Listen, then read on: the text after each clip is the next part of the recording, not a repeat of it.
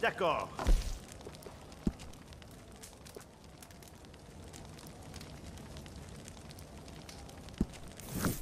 Now, we have a batch ready for shipment, okay?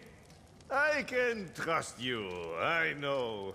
You are not like the rest, uh, monteur, uh, tricheur.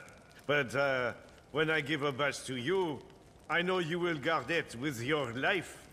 You will not let a little thing like a barrage of bullets uh, get in your way, huh?